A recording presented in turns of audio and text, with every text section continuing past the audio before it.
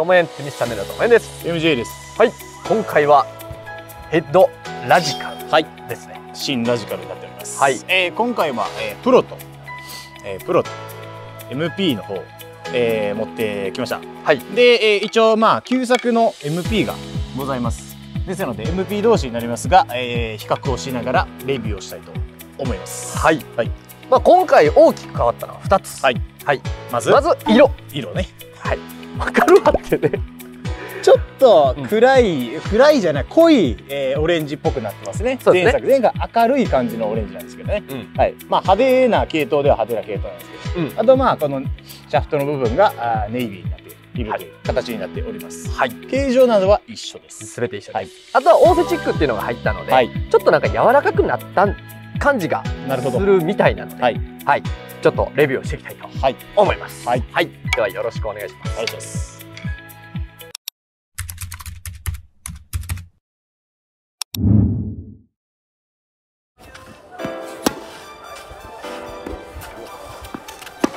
はい、ありがとうございました。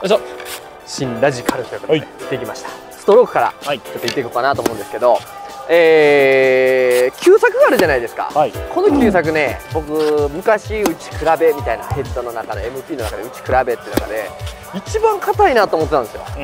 えーあのラジカルって、うん。ラジカルシリーズ。一番ボールが飛びにくいなと思ってました。で、まあ、今回それに比べるとまあこのオーセチックっていうのが入ったことによってちょっとボールをつかむ感じっていうのは出たかなと思います、まあ最近よく言われるマイルド感ですね。ね。まあ僕らがよく言ってる。そうですね。はい。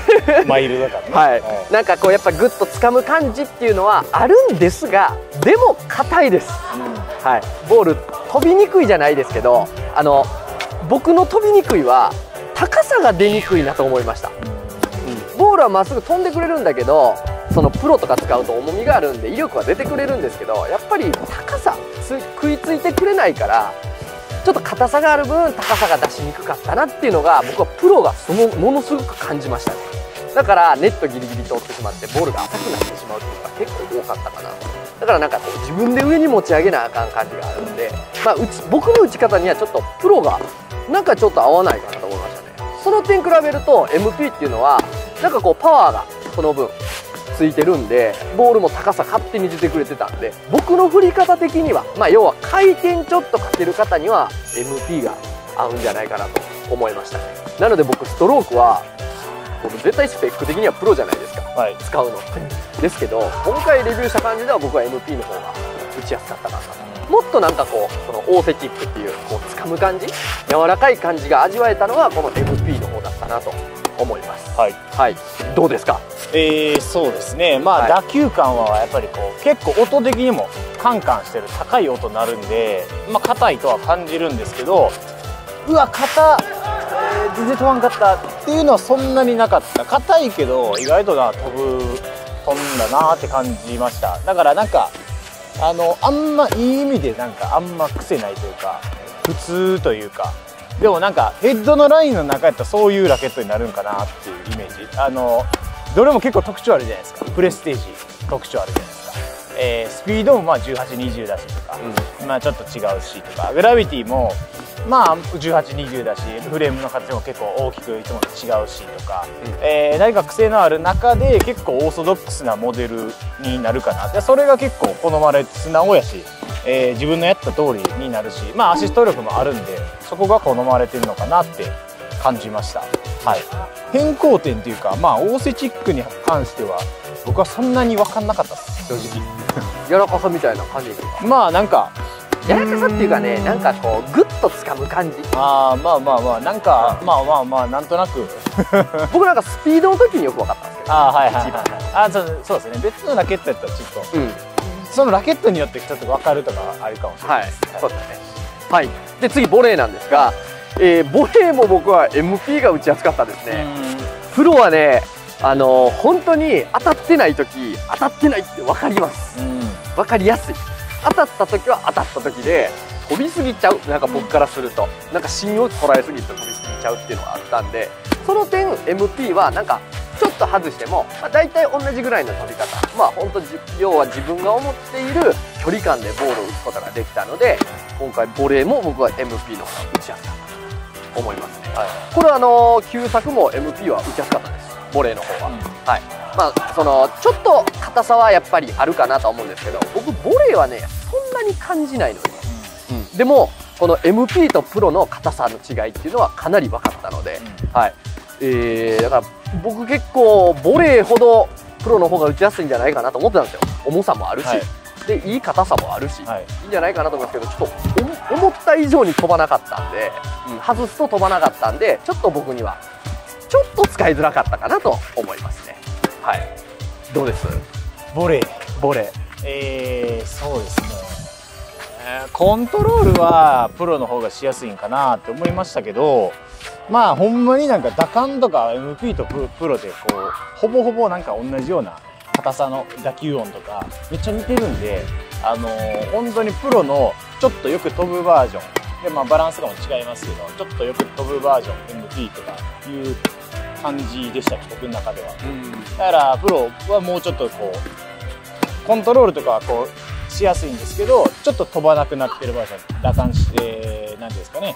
もうちょっとこう硬くじゃなくてしっかりしてるバージョン、うん、うん、っていう感じ。軽い軽く飛ぶのと、はいはいはい、えー、少しこうグッと振るのと。なるほど。っていう感覚。なるほどね。どっちが好みかっていう。感じですね、はい。はい、プレステージとか、小さい面のが好きっていう方はいいかもしれない。です。ああ、なるほど。逆によくとやっぱボレーでも飛んでくる方がいいのは MP の方がいいかもしれないですね。そうですね。はい。まあちょっと最後、まあ、サーブも含めた総括ということで、はい。はい、僕サーブはね、打ちやすかったですね。はい。なんか、ラケットが走るっていうのがすごく一番言葉として合ってるのかなと。うん、なんかいつも僕グラビティ使ってるんですけど、グラビティはなんか結構自分からグラッと打ちに行かないといけないんですけど、ラジカルはスッと綺麗にラケットが走ってくれるんで、結構楽に、フラットサーブが特に打ちやすかったかなと。あとスライスも打ち方、打ちやすかったですね。うん。で、スピンはちょっとなんかこう、っと出てこないかなっていう感覚があったんですけど、でもそんな差はなかったんで、でも基本的にはサーブはかなり打ちやすく、振りやすいラケットだと思いました。はい。